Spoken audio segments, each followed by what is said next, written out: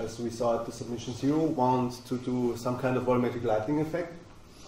And as our, our demo last, last year um, um, also facilitated volumetric lighting and I had some experience implementing it, I thought it would be nice to tell you my, my knowledge, what I gathered last year. The agenda for today is basically first some introduction, then the theory. This will be basically most important thing because I think if you know that, the rest is pretty easy. Then make it run and then make it run fast. Like making it run is, is is important, but depending on your demo, it won't run fast enough because it has to run at 60 FPS. And then we will talk about making run fast and then some words about volumetric fog. Because if you have volumetric lighting, then the fog is just, just three lines of code. Um, all right, volumetric lighting, what is it. Like it has many, many meanings, uh, many, many um, words describing the same thing. I will call it volumetric lighting. In the slides, it will also call it sometimes VL. It's short for volumetric lighting, in case you didn't recognize that. then there are God rays and light shafts. They are not exactly the same because God ray usually refer to the sun and light shafts also, but it's basically the same physical effect. Um, usually you have some light source. This is this nice light bulb. This light source emits some light waves, and there, then there is some media, like dust, dead skin, something like that. And these particles um, either reflect the light somewhere else, which doesn't get to the eye, or they reflect somewhere else, then it gets again reflected, and it gets again reflected, and then into the eye, or just once or twice, or don't know. And basically, this process causes volumetric lighting. And then there is the camera, or your eye, or whatever sees it. And um, modeling this properly basically means you have some nice volumetric lighting effect. How to do that? Why to do that first? Like it's very used, very much used in practice. There are many games that use it. It's basically what defines the next gen look, in my opinion. Um, here is Killzone, which, whoops, wrong button, which looks very nice. Then there's Crysis, and then there's Inside. Both three games um, use them very much, and uh, I think it's, it shows how, how important it is to keep it interesting, the game. So what, what solutions are there? There are simple solutions which, which have been around for quite a long time. The simplest solution would be just to uh, use particles or billboards. Um, they look good for simple scenes, but as, as soon as you get more complex, then they fail miserably. So for example, if you go into the light shaft, then usually they just blend out and it's not really good. Then the second variant, which is also used quite often but only works for specific light sources, is when the um, light shafts or God rays are rendered in screen space. So basically the, the, the, requirement for this is that the light source is actually visible on screen. Um, if, if, your, if, if the scene that your demo or whatever um, has this, this um, meets, meets this criteria, then you can also use them. But from an implementation perspective, they are quite boring. So I, I would recommend you the other one because there you learn something interesting. So what we need, we need a more flexible approach. Yeah, this is like now the theory part. We look at the radiative transport equation, radiative transport equation for some ray XS this some very intelligent physicist um, came up with, which which is very interesting. and what we basically need is we need the change of radiance, change of light radiance. This consists of the background radiance basically and the glowing medium.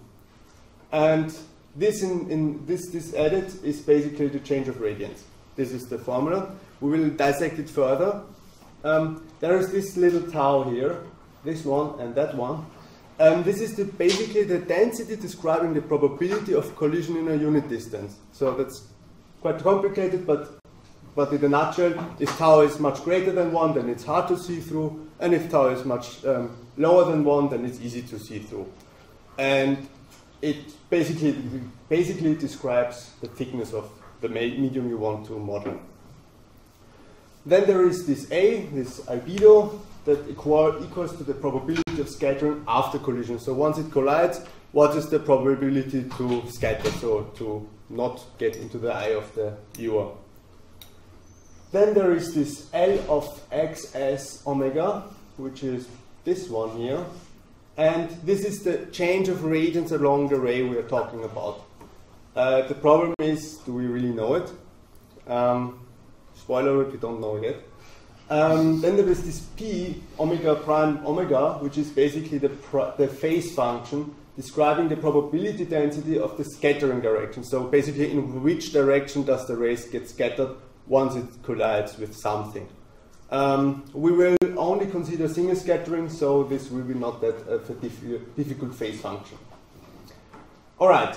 For performance reasons, we will consider only single scattering. There are statistical uh, approximations, but we will just look at single scattering because it's easier.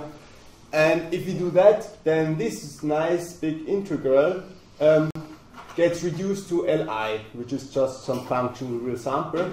And yeah, basically the change of radiance is this term plus this term, which is um, the function, which is the in-scattering term.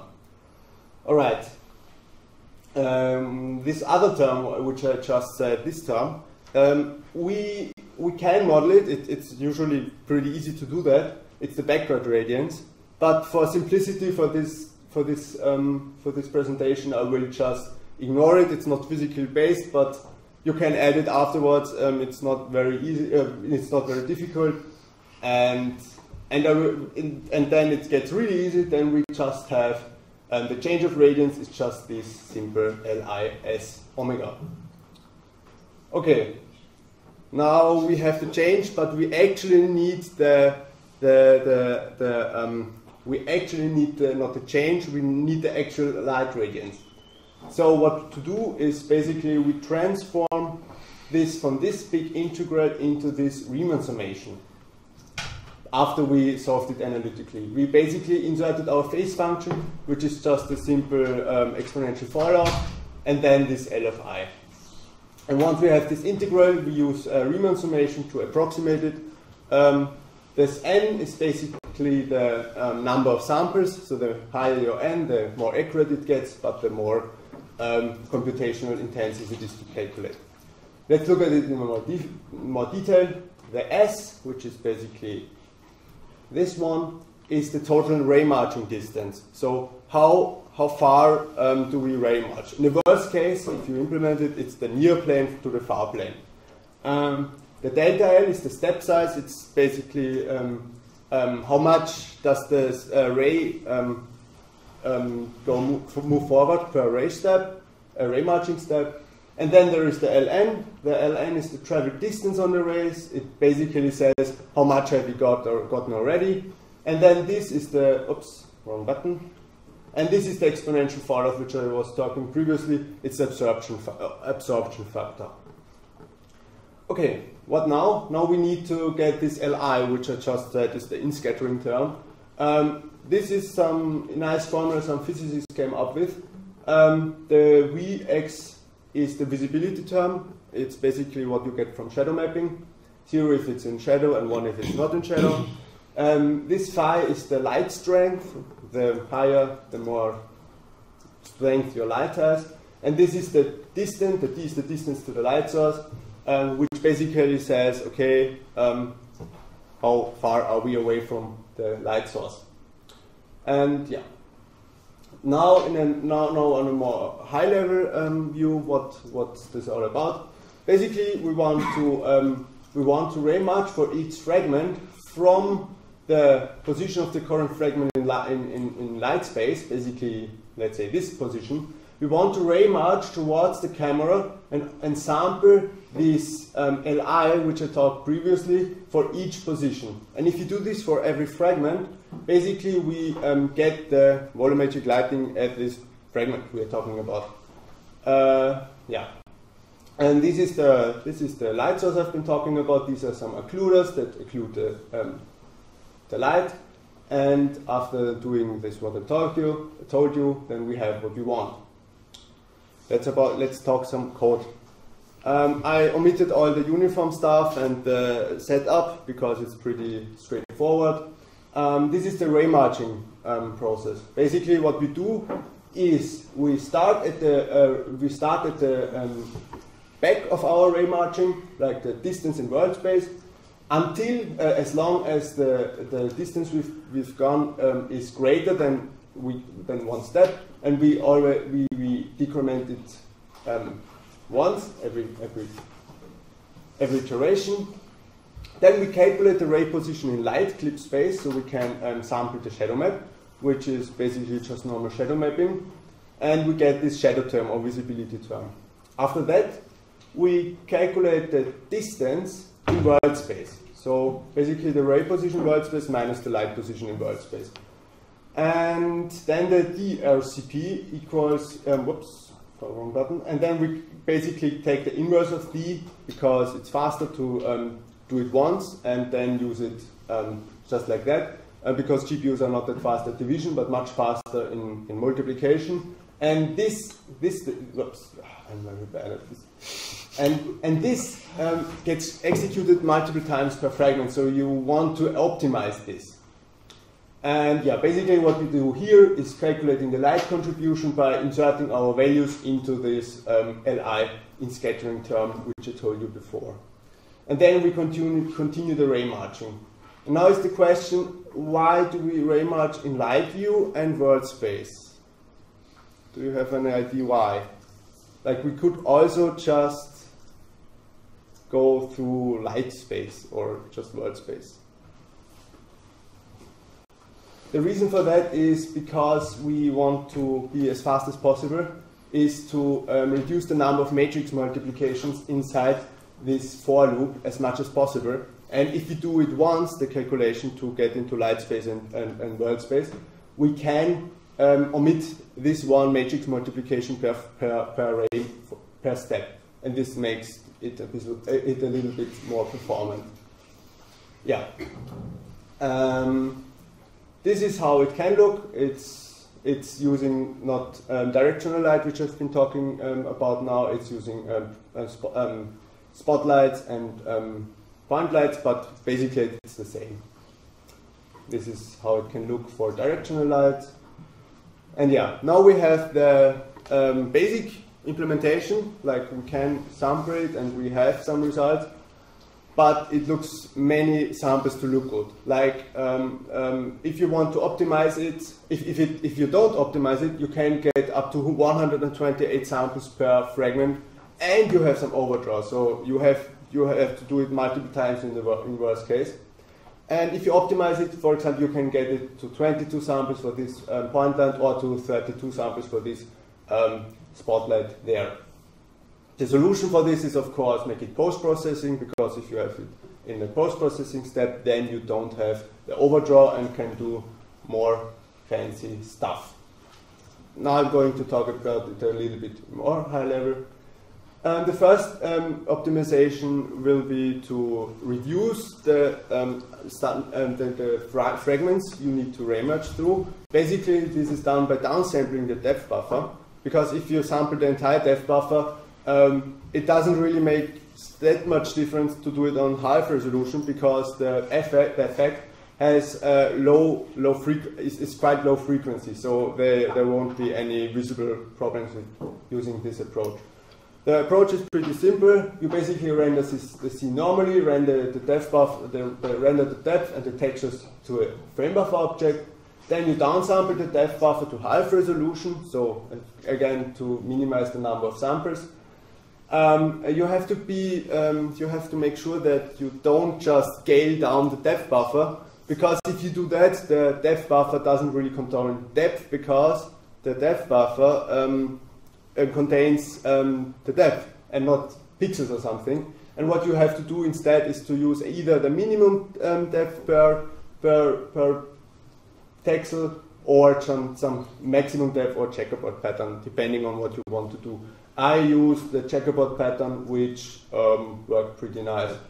It doesn't make sense to interpolate the depth.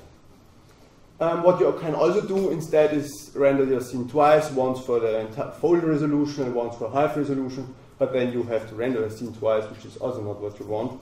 So I stick, stick with this solution. Then you render your volumetric lighting as before, um, now you have to reconstruct your world positions in from the depth buffer, which is in the appendix. How you do that? How, you can do that? There are multiple ways, but you have to know that you don't have the actual world positions anymore. And then once you've done it, you can upsample this again and use nearest depth upsampling. There are also lots of articles about this in the internet. All right, now it works. If you if you're lucky, then it will work and you will hit your 60 FPS you wanted.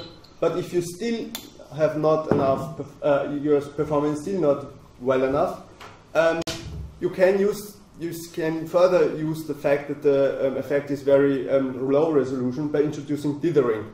Uh, by using dithering is basically you, you um, change the starting position of each um, ray by a little bit and, and use the fact that it's not, um, not, not high frequency and apply some Gaussian blur afterwards. Um, by, by doing that, basically, you, you reduce the number of samples and you have the effect still looking pretty nice because the Gaussian blur basically removes the, uh, the problems um, um, introduced by dithering. You have to be um, cautious because, again, it's depth values we are comparing, so doing the Gaussian blur um, using bilateral blur is much more um, recommended.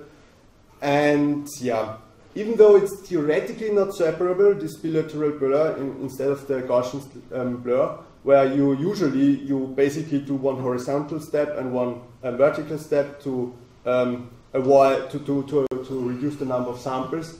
Here you still do it even though it's mathematically speaking not separable. Yeah, and then you can upsample as, as previous again. Um, how is this dithering done? Um, there is some dither dithering pattern. Um, you can use either some array or some texture or something else um, and basically just um, change basic, um, based on the current fragment, x and y coordinates, the positions of your light view and your world space coordinates by multiplied with the step size. Okay, now I told you about volumetric fog. Um, volumetric fog is basically just sampling some 3D texture or 3D function which looks like a fog and adding it to the light contribution multiplied by what you got before. And if you do that, you have some nice uh, volumetric fog. Yeah, do you have some questions? Okay, um, some sources are used during implementation. Then here's this one, which is a Unity implementation for volumetric lighting. Um, if you know CG and Unity, it's a pretty good source um, and I kind of um, based my implementation off of this. Um, then there are some there is some quite nice blog post where the dithering pattern was explained, and get generally a good guide. Then this is a talk about Inside, where some some good parts of it were um, were about the volumetric lighting, and then this YouTube video was for the radial transport equation if you want to understand it even better. Then, oops, wrong button again. Then there is another talk about volumetric lighting, which is also quite nice, but again, it's it's based on um, HSL, HSLS, so it's not um, GLSL. And then this is our implementation of, of volumetric lighting on GitHub. And this is the paper which all was based on. This is used in, I think, all basically as a base for all implementation of VL across um, all games. Yeah. And this is the appendix for calculating the world position from the depth buffer, which you will need if you do post processing.